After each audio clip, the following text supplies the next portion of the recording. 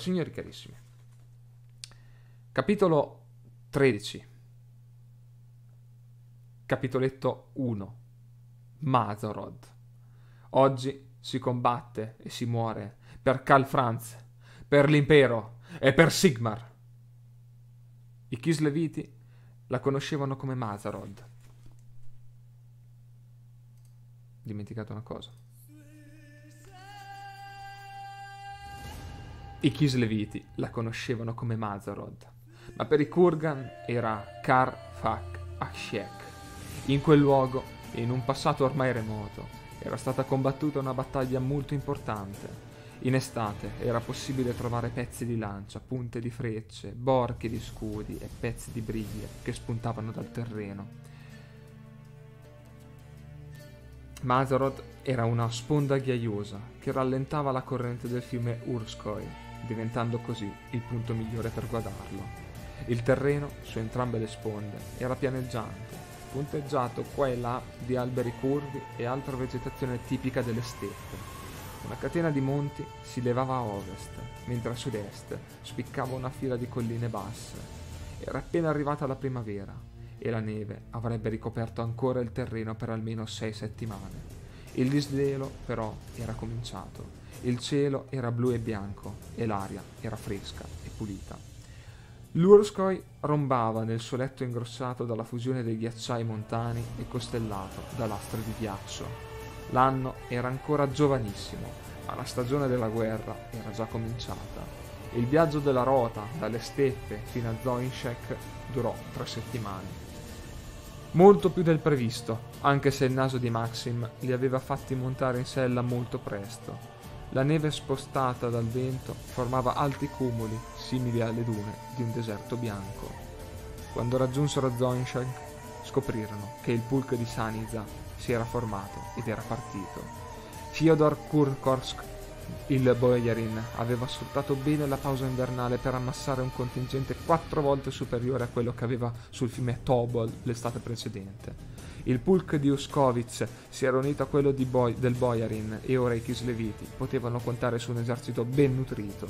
Il Boyarin non desiderava tardare, quindi era partito il prima possibile guidando l'esercito a sud. Il pulk del Boyarin aveva incontrato il nemico in un tratto dell'oblast a diverse centinaia di chilometri dal Kislev, in una zona che aveva patito molto l'incursione degli invasori giunti dal settentrione il Boyarin aveva affrontato l'esercito di Okkodai Tarsus. L'esercito dello zar supremo si stava espandendo a ovest. A quanto si diceva, era stato Arkaon a ordinare loro di muoversi in quella direzione per dare manforte agli alleati che combattevano sulle montagne centrali. Il contingente dello zar supremo era quasi il doppio del Pulk. Si affrontarono fuori dalla foresta di Krasicino, per un certo tempo sembrò che l'anno prima il Pulk fosse solo scampato alla distruzione inevitabile che stava per avvenire. A un certo punto arrivò un secondo esercito dallo Stirland. Lo zar supremo si trovò schiacciato tra i contingenti imperiali e il Pulk. L'orda di Okkodai Tarsus fu fatta a pezzi e messa in fuga nel corso di una battaglia che durò due giorni. Grosse porzioni dell'orda, incluso lo zar supremo in persona, fuggirono dal campo, ma vennero distrutte in maniera sistematica. Gli alleati si diressero verso ovest, inebriati dalla vittoria. Erano tra le prime forze dal Kislev e dall'est che stavano raggiungendo il cuore marto- martoriato dell'impero. Altri contingenti, guidati personalmente dalla zarina, stavano per arrivare. La rota di Beleni raggiunse l'esercito a Kurskosk, a Mazarod, portando con sé gli uomini arrivati da Zoinshank. Tutti erano allegri e fiduciosi. Tutti, tranne Gerlach. Lui era arrabbiato. Finalmente. Finalmente stavano per colpire, stavano per vendicarsi delle terribili ferite subite l'estate passata. Stava succedendo tutto ciò che aveva sperato. Tuttavia, il sogno avuto a metà dell'inverno e il suo oscuro ricordo lo rendeva cupo. Dovresti essere felice, Vebla, lo ammonì Vitali. Ya, concordo, vaia, stiamo andando alla guerra. Era quello che Vebla ha sempre voluto. Andare in guerra con la rota, diceva Vebla. Venite in guerra con me. Perché non venite in guerra con me? Come un eco in una caverna. Ora stiamo cavalcando verso la tua guerra e... Ciao. Vebla sembra un uomo che ha appena scoperto qualcuno che gli ha pisciato su- nella coppa. Io sono contento, rispose Gerlach impigredita, di andare in guerra, solo che Vebla... Solo che Vebla cosa? chiese Valia.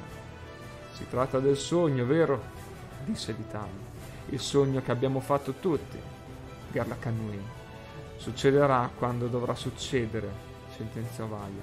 Saggio e saggio e fece il gesto tipico con la mano, come se dovesse spazzare via della polvere per dire che era poco importante. Io credo invece, disse Gerlach, che sia importante. E comunque così si conclude il primo capitoletto di questo capitolo uh, 13. Devo dire che è iniziato mh, mm, col botto quasi, anche se è una narrazione un po' estemporanea, uh, dove abbiamo praticamente seguito le mm, gesta del, dei pulk che si sono radunati, si sono spinti a sud, hanno incontrato finalmente i Kurgan, li hanno affrontati e grazie poi all'intervento di un secondo esercito dallo Stirland sono riusciti a spaccargli le ossa essenzialmente. Questo hanno fatto e ce l'hanno fatta alla grande oltretutto uh, uccidendo lo stesso zar supremo. Quindi molto bene una vittoria per, uh, per le forze dell'ordine però il problema comunque sussiste perché eh, l'impero è comunque martoriato ancora più a sud e Arcaon si sta spingendo a sua volta a sud uh, vediamo ora vediamo in ogni caso eh, l'atmosfera è positiva ma c'è sempre ora questo sogno, come vi dicevo prima, ehm, premonitore che va a incupire i pensieri di, di Gerlach. Eh, che cosa sta aspettando eh, a sud? Qual è il destino che, che attende? For the Empire, for the Emperor, Giacomo. Vi vedo belli stretti intorno all'impero. Troppa allegria, qui finisce male invece. c'è, c'è, Francesco che dice: No, qui, qui. Quando le cose vanno così bene, l'abbiamo già visto più di una volta. Quando le cose vanno così bene, poi alla fine va tutto uh, a merda. Ma mm, veramente tanto a merda. Beh, io direi proseguiamo prima che insomma ci, ci si fermi tutta la, la spinta vitale verso, verso la fine di, di, questo fantastico romanzo. Quindi iniziamo subito con il capitoletto 2. A Mazarod, poco prima del guado, gli esploratori tornarono al Pulk dicendo di aver avvistato un gran numero di nemici diretti verso di loro. Il luogo della battaglia sarebbe stato Mazarod. Il Boyarin fece accampare il Pulk sulle colline rocciose a est del guado, perché da quel punto dominavano la, pianu- la pianura e il fiume Appena scesa la notte, furono in grado di distinguere le torce dei Kurgan sull'altro lato dell'Urskoi. Domani combatteremo, disse Beledni, rivolto ai suoi uomini raccolti intorno al fuoco del Krug. Era stato convocato con gli altri comandanti al cospetto del Boyarin e adesso doveva riferire il piano di battaglia ai suoi uomini. Probabilmente cercheranno di attraversare il fiume all'alba, il Boyarin ha detto che dobbiamo colpirli mentre guardano. Il fiume è profondo e saranno vulnerabili. Gli uomini esultarono e fecero passare il comis per brindare alla vittoria. Beledni ordinò loro di radersi. Gerlach si allontanò dal Krug e si diresse verso un promontorio roccioso illuminato dai fuochi da campo del Pulk. Sull'altro lato dell'Urskoi, invisibile a causa della notte, c'era il nemico accampia- accampato nella pianura. Non ti stai radendo come ordinato, gli disse Belerni, comparendo alle sue spalle. Lo farò prima di andare a dormire come è giusto fare, Rotamaster. Hai dei problemi? Garlac fissò il vecchio e robusto Rotamaster. Tu sai dei sogni. Li ho fatti anch'io. Trovo tutto questo frustrante, disse Gerlach, indicando i fuochi dei Kurgan. Daz, mi ha detto che devo combattere la grande bestia del caos e il futuro delle nazioni è nelle mie mani. Ya, non ci sono dubbi sul fatto che Arkham sempre sia dannato il suo nome e la grande bestia, vero? Beledni immagina che sia così. Beh, lui non è laggiù, vero? Domani dobbiamo affrontare i nordici, ma se anche dovessimo vincere... Vinceremo, Vebla. Certo, ma anche in questo caso quell'impresa è un passo davanti a me. Quanti altri eserciti dovremo affrontare e sconfiggere prima che io possa affrontare la bestia? quanto dovrò essere forte. Quel tanto che basta. Garlac si passò una mano sulla testa, drizzando il ciuffo. Lo spero. Sembra che io non possa farlo. Dovrei essere in un altro posto. Dovrei... dove sarei importante. Qui sei importante, Vebla. Questa è una battaglia importante. Questa e la prossima. E la prossima ancora. Un viaggio è un cerchio, lo so. Ma come potrò completare il mio cerchio come dice Daz? Non ho mai incontrato Arcaon. Non ho mai incontrato nessuna bestia del caos. Io penso che il mio viaggio proceda in linea retta. Non importa cosa dicono i filosofi del Kislev. E, scon- e questo scontro per il quale ci stiamo preparando è sulla mia strada. Tu sei Vebla, disse Beledni passando al suo Rexpil incerto.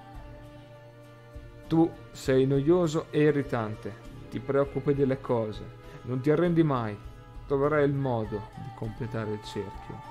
Gallak sorrise. Posso dirti una cosa, Rotamaster? chiese. Beledni annui. Quando ero giovane, cominciò Gerlach, l'anno scorso, aggiunse, facendo ridere il Rotamaster, Credevo di poter cambiare il mondo da solo. Andai via dal Talabeim, pieno di piscio e aceto. Ero convinto che avrei ribaltato tutto da solo. Sarei stato il campione dell'impero. Avrei respinto l'orda nemica con un semplice colpo della mia spada. Garrak fissò le stelle per un momento. Il tempo che ho passato con voi della rota, nelle steppe, mi ha cambiato L'ampiezza dell'oblast mi ha fatto capire quanto fossi piccolo e insignificante. Sono solo un piccolo uomo, solo in un mondo sconfinato. Era umiliante. Le steppe fanno sentire tutti in quel modo, concesse Beledni. Ya, ed è stata una lezione molto dura da imparare per un Vebla come me.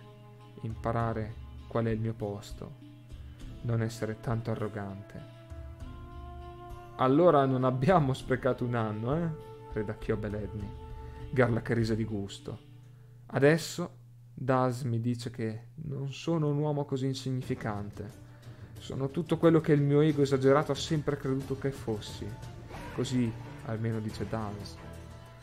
Das ci mostra le cose che sono importanti, disse Beledni. Improvvisamente mi trovo tra le mani questo destino Proprio quello che avevo buttato via perché pensavo da stupido. Essere l'uomo che da solo salva il mondo. L'uomo in grado di affrontare la bestia del caos. Mi è arrivato tutto nel momento in cui me ne fregava di meno. Beledni si sedette su una roccia. Alle volte Daz può essere un gran bastardo, ammise, e l'affermazione fece ridere Gerlach. Ogni uomo è importante, disse Beledni. Come vive, come muore, cosa fa, il modo in cui conduce la vita, il modo in cui l'attraversa. Il Krug gira e ogni giorno noi prendiamo ciò che ci è dato. Se Daz dice che affronterai la bestia del caos, allora vuol dire che così sarà. Farai in modo che succeda. Davvero. Il tuo sogno non era una profezia, era un avvertimento di Daz su quanto stava per succedere. E così si conclude anche questo secondo capitoletto. Molto molto bello, molto interessante. Eh, abbiamo un uh, confronto, diciamo, direi finale, oserei dire finale, perché ovviamente siamo alla conclusione ormai della, della lettura, eh, fra Beledni, che un po' ha rappresentato durante tutto il viaggio che hanno affrontato da quando si sono incontrati fino ad ora, eh, un po' il, la saggezza del Kislev, quella saggezza così inizialmente sconosciuta da Beredni, eh, che effettivamente ora ci ha fatto una sorta anche di eh, riassunto della sua vita nell'ultimo anno circa, da, dalla sua partenza da casa, quando l'abbiamo poi incontrato noi nella lettura, appena arrivato eh, nell'Oblast vicino al Kislev, quando era ancora quell'uomo arrogante, mh, pieno di sé, pronto a dimostrare tutto eh, il suo ardore guerriero militaresco, a questo, un uomo che ha capito quanto potesse essere veramente un microbo, un microbo minuscolo nel mondo, un granello di sabbia nelle spiagge, E, mm, che poi si ritrova effettivamente con un sogno che gli dice: No, tu hai un ruolo importante. Per quanto ora ti sei fatto un'idea di questo tipo, capisci che hai una, una, un compito, forse quasi addirittura centrale per la salvezza di tutto. La chat morta per la tensione. Infatti non capivo. Quando ho smesso di leggere non ho visto niente. Ho detto, vabbè, stanno dormendo tutti. Li ho addormentati questi sera. Daz è un gran bastardo. Is this blasfemia? Is this uh, uh, bestemmiare gli dei importanti? Mm? Fortuna non c'è l'inquisizione sono molto tranquilli, molto più aperti, di manica larga per queste cose.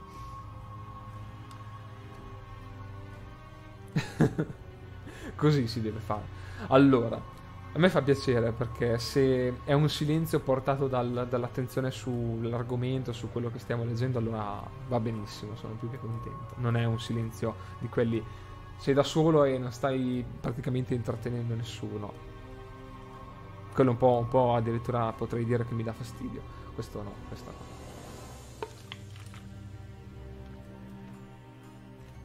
È vero, sono d'accordo con Francesco che dice temo per Beledni perché eh, il libro gli sta dando appunto effettivamente come detto questa figura di, di saggio comunque lo fa diventare eh, quasi automaticamente una, una, figura un po' a cui ci si può affezionare facilmente perché è quello che Uh, riesce a sistemare anche le cose al momento giusto, che, che, si fa valere, un guerriero comunque sia. È effettivamente così. Ehm, potrebbe succedere.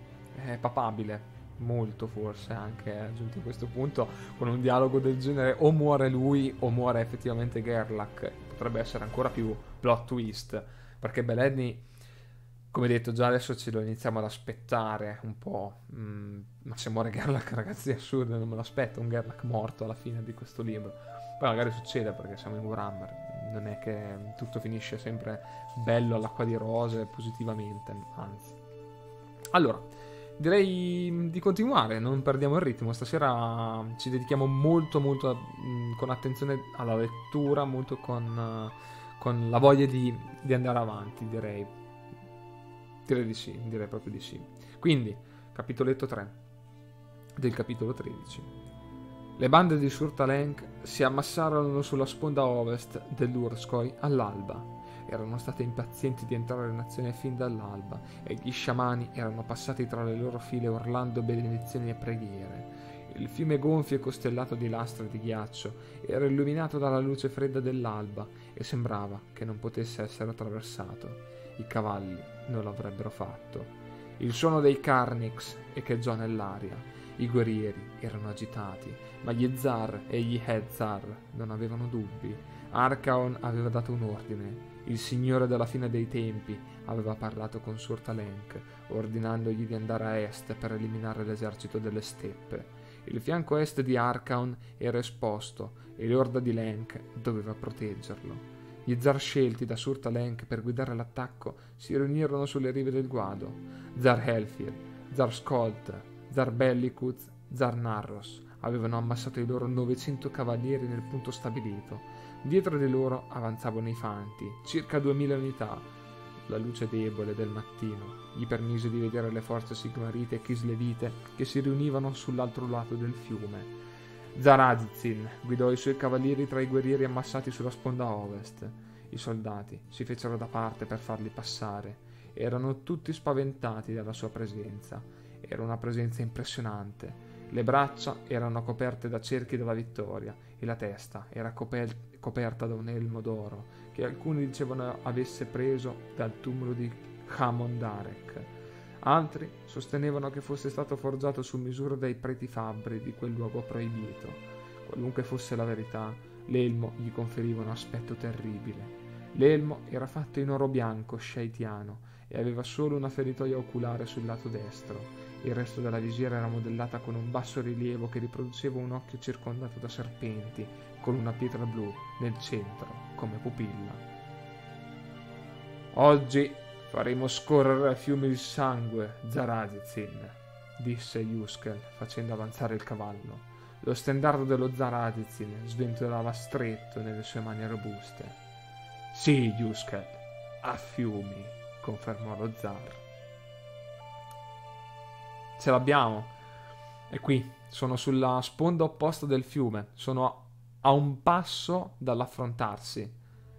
Buonasera Tarfone, ben arrivato. Ben arrivato carissimo. Come va? Tutto bene? Sicuro, il tutto davanti agli occhi di Gerlach che va in berserker e fa una strage morendo anche lui. Bah, sarebbe l'apoteosi per la fine di, di, di tutto. Veramente un finale potente, potrebbe essere una cosa assurda.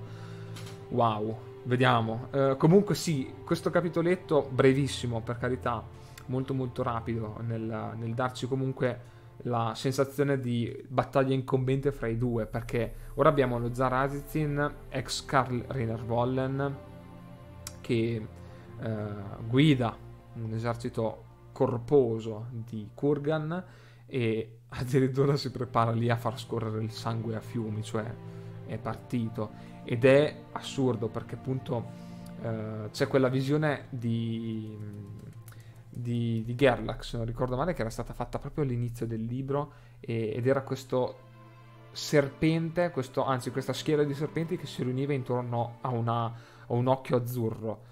È l'elmo, è l'elmo ed effettivamente poi lui mutato nel suo aspetto dopo le ultime battaglie dell'ultimo periodo. Quindi ci siamo, nel senso siamo qui. Tutto bene, tutto bene. Oh, mi fa piacere Tarfone. Noi qui invece si legge e anzi, a proposito di, di lettura, io senza di nuovo dire eh, interrompere il tutto, proseguo con il quarto capitoletto del capitolo 13. Il Carnix suonò e gli uomini di Lenk entrarono nell'acqua, sfidando la corrente impetuosa, tenendo alti gli scudi e le asce. Dietro di loro, i primi cavalieri osarono sfidare le acque gelate. Il pulk attendeva pazientemente. Molti Kurgan a piedi e a cavallo furono spazzati via dalla corrente del fiume e scomparvero tra i flutti. Il contingente di Surtalenk, però, aveva dalla sua parte il numero. I primi guerrieri riuscirono a salire sulla riva e corsero verso il nemico. Poco dopo giunsero anche i cavalieri della banda di Zar Helfield e Zar Skolt. Il Pulk attese che si fosse radunato un numero significativo di nemici che adesso non potevano scappare da nessuna parte perché avevano il fiume alle spalle. I corni d'osso e le trombe suonarono e il pulk avanzò.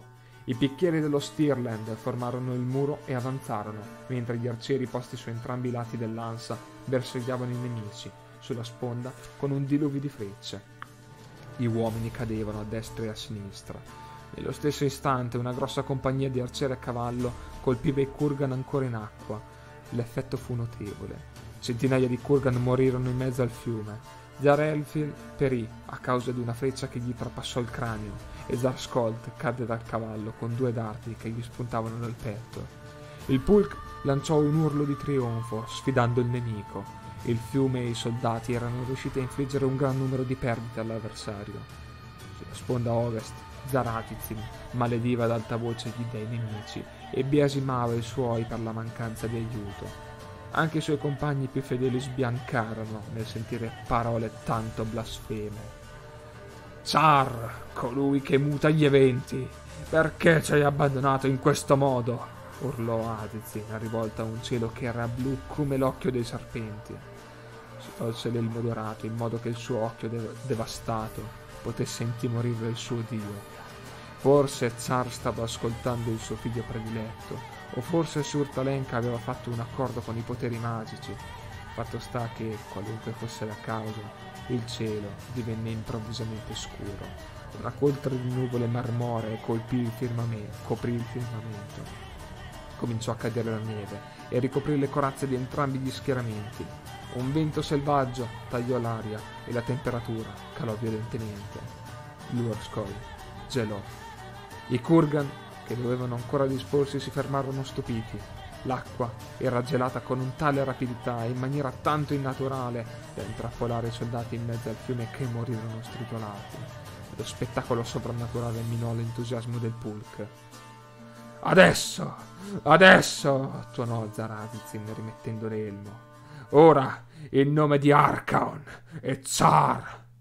Hazrer soffiò nel Carnix con tutto il fiato che aveva in corpo e il suo entusiasmo contaminò i suonatori di corno delle altre bande. I cavalieri Kurgan si lanciarono al galoppo sul ghiaccio, sollevando una pioggia di schegge simili a tanti zaffiri, aprendo la strada alla fanteria.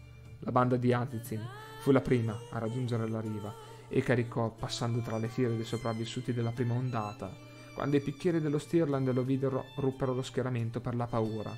La compagnia d'arcieri guidata da Dimirov figlio di Gaspar e fratello di Antal, era la più vicina al nemico. Avevano bersagliato i nordici che avevano raggiunto la riva e adesso si stavano concentrando sui nuovi arrivati. Gli archi dei Kisleviti schioccarono scagliando le frecce contro i nordici, sbalzandoli dalle loro selle o azzoppando i cavalli. I Kurgan tesero gli archi.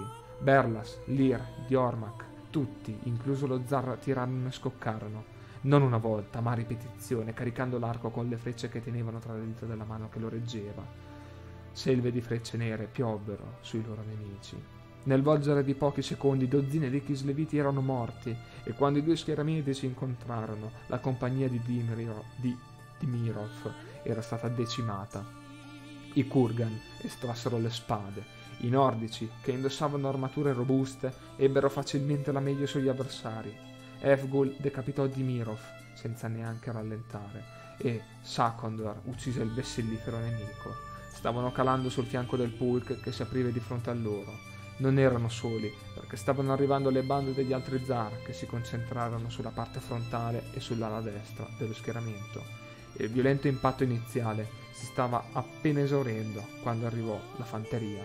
La battaglia, che aveva rischiato di essere persa, era diventato uno scontro campale. La fortuna stava cambiando in un modo che avrebbe fatto piacere all'occhio di Char. Tanta bella roba. Io ragazzi non mi fermerei questa sera più di tanto per uh, le valutazioni, ma ci lascerei proprio mh, prendere e trasportare il flusso del, delle parole e della narrazione. Capitoletto 5. La rota di Yechin si era sistemata sul lato destro del Pulk, pronta a intervenire intorno al muro delle picche, quando il fiume gelò. Beledni si alzò sulla sella e girò i suoi uomini. E si girò verso i suoi uomini. Ricordate che questa è l'ultima battaglia, l'unica battaglia. Combattete come se non ci fosse un domani e lo vedrete. Beledni impartì l'ordine e Yevni suonò la carica. La rota spronò i cavalli al galoppo e abbassò le lance. Erano in compagnia di altre due rota e insieme formavano una vista gloriosa, guerrieri corazzati in oro e argento che galoppavano con le ali al vento sulla distesa di neve. Una sezione di partigiani kisleviti, fanteria giunta dall'Oblast, era appena stata dispersa dalla banda dello zar Kreia e da un cuneo di kurgan armati di ascia. I lancieri piombarono su di loro come una marea dorata. Nessuno degli uomini di Kreia armati come erano di asce e pallaz, era in grado di sostenere l'attacco delle lance kislevite. I cavalieri rincularono sulle selle mentre le armi si piantavano fremendo nei, dei, nei corpi dei Kurgan. Diverse aste si spezzarono nell'impatto, ma non ci fu lancia che non uccise o ferì. In quella collisione durata un attimo, cinque nuovi cavalieri della morte ricevettero il battesimo della battaglia e poterono vantarsi della loro prima uccisione. I sopravvissuti cercarono di fuggire, ma incapparono nella loro stessa fanteria in preda al panico e per qualche attimo cominciarono a uccidersi a vicenda. Molti fanti caddero sotto gli zoccoli dei cavalli. Creia stesso uccise alcuni fanti nel tentativo frenetico di liberarsi la strada. Alcuni uomini armati di ascia si avventarono contro i cavalieri del loro stesso schieramento nel disperato tentativo di rimanere in vita. Le lance della rota erano quasi tutte rotte Solo alcuni le conservavano ancora, e Mitri, uno di quei pochi, affondò la sua nel petto del suonatore di corno della banda di Creia. La rota prese i giavellotti e li lanciò nella calca. Vaia, che si trovava proprio davanti a Gerlach, scagliò il suo giavellotto con tanta forza da trapassare alla spalla dello zar in fuga. Creia urlò e riuscì a rimanere in groppa. Riuscì a girarsi in tempo per ricevere il secondo giavellotto di Vaia, dritto in mezzo agli occhi. La rota aveva massacrato la banda di Creia e la fanteria che la appoggiava. Yebni suonò il corno per radunare il Krug e Beledni lo fece girare. In quel momento videro un'altra banda di Kurgan che si avvicinava, lanciata alla carica. Capitoletto 6 Yuskel aveva individuato la posizione del Boyarin e l'aveva guidata al suo zar e l'aveva gridata al suo zar. Azizid aveva emesso una specie di ruggito e aveva spronato il cavallo in avanti. Quella era la sua preda più ambita. Avrebbe posto la testa del Boyarin con gli occhi bruciati in cima alla pila di teschi mentre Cegrum gli infliggeva il primo marchio della vittoria. Poi avrebbe coperto la testa d'oro fuso e l'avrebbe appesa in cima allo stendardo della banda di guerra. Quel gesto, inoltre, gli avrebbe permesso di guadagnare il favore dello zar supremo. Non aveva dubbi che dopo aver compiuto una simile impresa sarebbe diventato il prediletto di Surtalenk, sarebbe diventato Ezzar Azizin, capo dei capi. C'era una fila di lancieri ghisleviti tra lui e il Boyarin. I cavalieri alati erano appena usciti da uno scontro che avevano esaurito la, e avevano esaurito la scorta di lance e giavellotti. Li avrebbe demoliti, li avrebbe decapitati, tutti, e sparpagliato al vento le loro ridicole ali. Capitoletto 7 La banda dello Zarazizin e la rota del Krug Yetchin si affrontarono a tutta velocità, senza la minima esitazione. Capitolo 8 Grandi Daz e Sigmar, proteggeteci! ansimò Gerlach quando vide la bestia cavalcare alla testa dello schieramento nemico e il modorato aveva un aspetto schifoso, ma la cosa più oscena era il baiore blu che pervadeva il lato senza feritoia. Era un demone, una creatura sguinzagliata dall'aldilà. Gerlach non riusciva a immaginare quale potesse essere l'inferno maledetto che aveva generato quel guerriero. Daz, però, gli aveva mostrato il blu e l'oro nel sogno, quindi sapeva di trovarsi nel posto giusto. Capitoletto 9 il mondo, si, il mondo si infranse come se fosse stato colpito da un martello. I Kurgan e i Kisleviti si scontrarono in un marasma di confusione. Confusione e morte. Berlas scagliò le sue ultime frecce e Mitri cadde a terra con il petto trapassato. Beledni uccise Diormak con un fendente alla testa. Maxim ricevette una ferita alla coscia dall'ascia di Efgul mentre si passavano vicino. Poi incontrò Sakondor faccia a faccia la Parlaz di Sakondor staccò qualche piuma delle ali di Maxim e quest'ultimo lo decapitò. Gennady, la recluta più giovane, scagliò il giavellotto ma mancò il bersaglio, lanciò un urlo strozzato e un attimo dopo la spada di Lir uccise lui e il cavallo in un solo colpo. Fegul mano sola affrontò Ifan. I due si scambiarono una gragnola di colpi, ma la forza fisica di Fegul ebbe la meglio. Il Kurgan aprì la guardia dal petto del Kislevita. Fegul stava esultando a gran voce quando Kevet Lai, che aveva le lacrime agli occhi, lo raggiunse zittendolo per l'eternità con la sua shashka. Vaia Vitali, che come al solito combattevano insieme, affiancavano Gerlach mentre sprofondavano nel centro dello schieramento nemico. Le loro spade balzarono parecchi no- sbalzarono parecchi nordici dalle selle. Erano sempre più vicini allo stendardo nemico e al bruto vestito di pellicce che lo reggeva. Yevni e Kuba coprivano le loro spalle. Yuskal li vide arrivare e alzò lo spadone. Hazar e Lir schizzarono di fronte a lui per difenderlo. Hazar tentò un affondo per uccidere il vessillifero nemico, ma Vitali lo bloccò e lo costrinse a duellare con lui. Continua! urlò Vaia. Continua, Vebla! Stava spostando la spada di Lir. Il suo cavallo era ferito e sanguinante. Gerlach spronò Saxon in avanti cercando di evitare i combattimenti intorno a lui. Yevni e Kuba lo superarono e si diressero verso il bessellifero dei Kurgan. La spada di Kuba nel col- affondò nel collo di Yuskel mentre lui e Yevni lo superavano. La bestia strisce di Yuskel emise una sorta di urlo, scalciò e scappò via mentre il vessillifero cadeva dalla sua groppa. Lo stendardo cadde. Yevni si girò, gli zoccoli del cavallo scivolarono nella neve resa viscida dal sangue e cercò di prendere lo stendardo per infrangere il morale del nemico. Hazer lasciò, lanciò un urlo rabbioso, ferì Vitali e coprì la distanza tra lui e lo stendardo caduto galoppando a rotta di collo. Colpì Yevni, facendolo cadere dal cavallo con il primo colpo, poi lo incalzò dalla testa e alle spalle mentre cercava di alzarsi. Efgul arrivò, prese lo stendardo e si allontanò. Baia osservò tutta la scena mentre piantava la spada nel cuore di Lirra.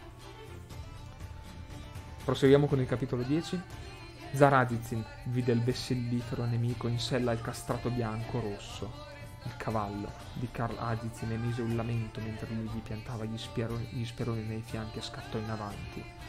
Quello di fronte a lui era il prescelto di Adi e Adithin lo sapeva. Anche senza la bandiera era quello giusto. Gliel'aveva mostrato la vista interiore che gli aveva donato Char. Garlac vide un lampo d'oro e sentì qualcuno. Vaia o Vitali, forse urlare il suo nome per avvertirlo. La bestia del caos che aveva perso il di vista nel massacro era ricomparsa e stava dirigendo verso di lui. La semplice vista di quel fuoco blu gli gelò il sangue nelle vene. Era blu come l'occhio che aveva visto nei suoi sogni febbricitanti. Non era una profezia. Daz l'aveva avvertito. Stringeva in mano la sua vecchia sciabola dalle lance spezzate e gli sembrava un'arma del tutto inadatta ad affrontare una bestia simile.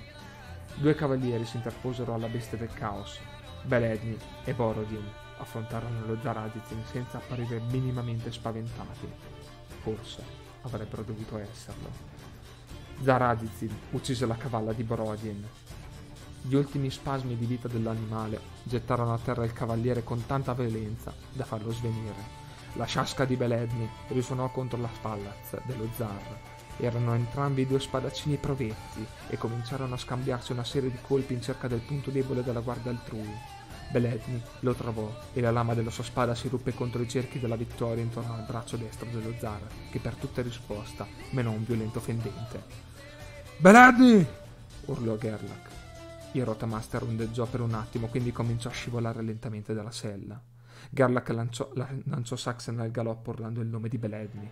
Aveva bisogno di una mano per tenere le redini e dell'altra per reggere la spada, quindi gettò lo stendardo senza esitare e si avventò contro lo zar.